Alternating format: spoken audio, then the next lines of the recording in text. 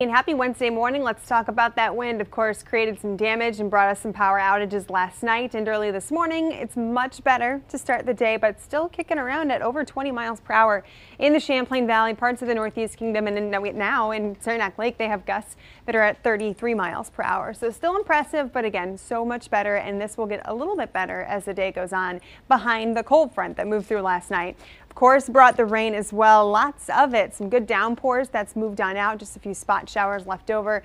And already some lake effect snow in St. Lawrence County where they do have a winter weather advisory in place over the next couple of days here for the potential for snow to slowly add up to several inches.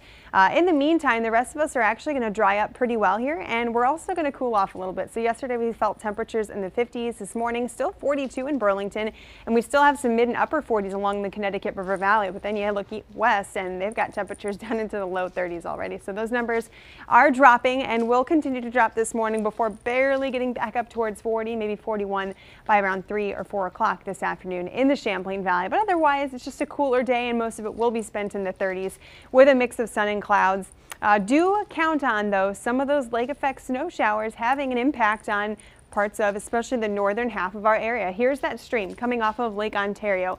It is just going to be wiggling north and south over the next couple of days here while the rest of us have a mix of sun and clouds and are pretty dry.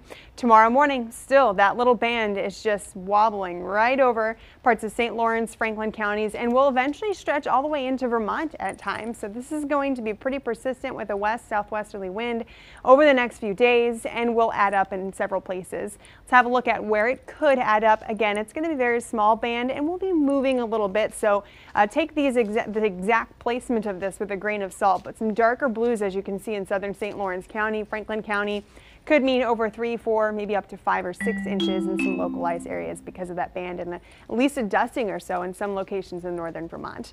Over the next couple of days, there's that chance for that lake effect snow. Other than that, you're going to find some sun in between and a definite cool down in the 30s for the end of the work week. Similar again over the weekend, not a whole lot going on, just a few scattered light snow showers mixed in with some sun. David, back to you.